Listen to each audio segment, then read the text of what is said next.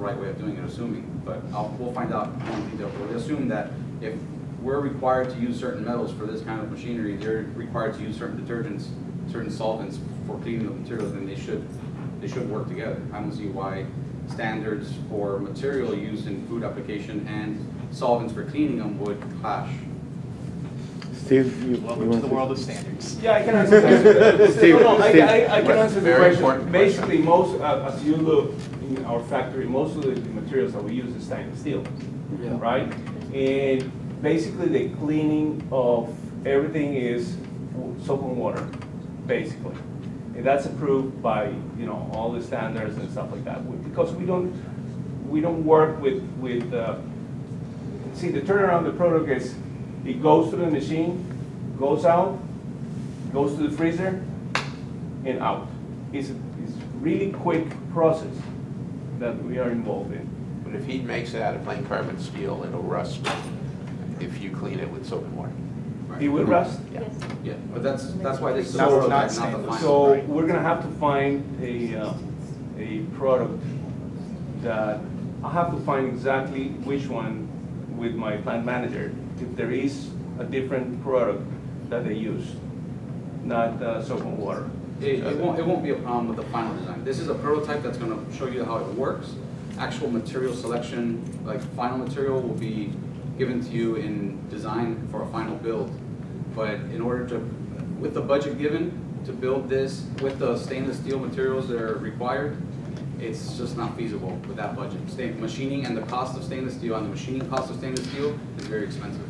No, no, I understand that the prototype will not, I, I I don't know the, how faculty runs the project or not, but what you're trying to tell me is that the final uh, prototype that you're gonna show us in December is not gonna be with uh, stainless steel. It's going, it's going to be a machine that we're gonna put dough on it, and it will show us exactly how the process will be with the thickness and everything else based on that and, and the parameters that you will, guys will create, we'll send that to a, uh, some sort of Machine shop? engineering shop that Right. will create the products up to the standards that, that the Right. factory requires, so that'd be The a. details about every material that we're gonna be, you have to be uh, using for every roller or every, every part of the machine. Right, so the main concept will be to show that once we put the dough on top, It is your, your product. You will be ready for these guys. Right. Okay. Now, are all the rollers adjustable?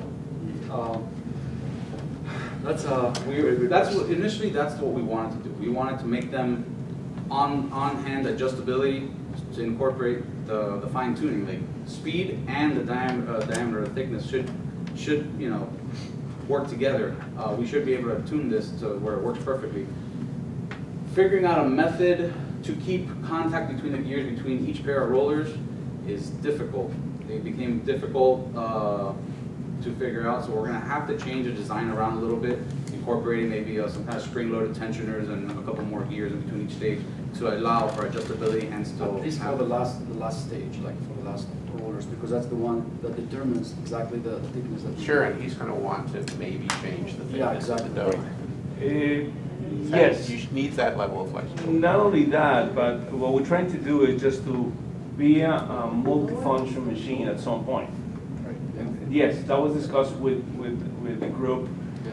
uh, and, uh, just changing a little bit the subject, I, I was not clear on what is the bottom part of it, is it what, it's a vacuum?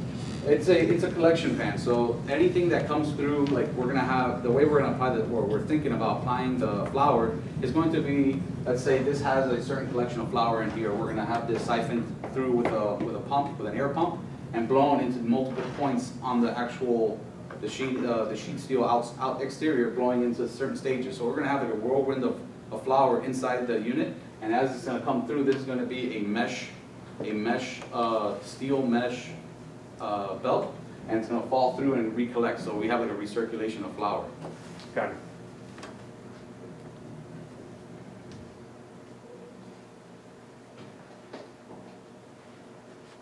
Any other comments? Thank you very much.